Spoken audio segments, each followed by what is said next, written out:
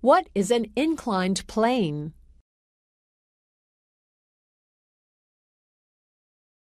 A simple machine is something that helps you do work. It makes our work easier and quicker. There are six simple machines.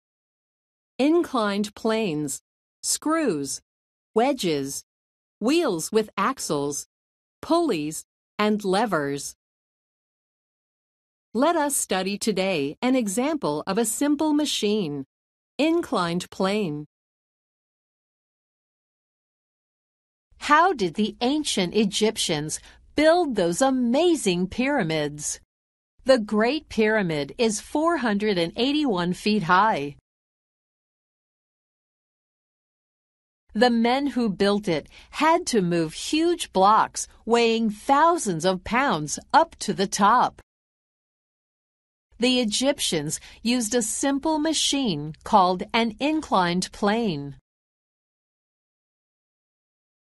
A plane is a flat surface. An incline is a slope.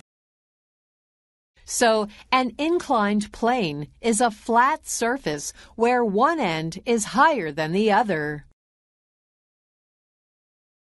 An inclined plane helps people move loads.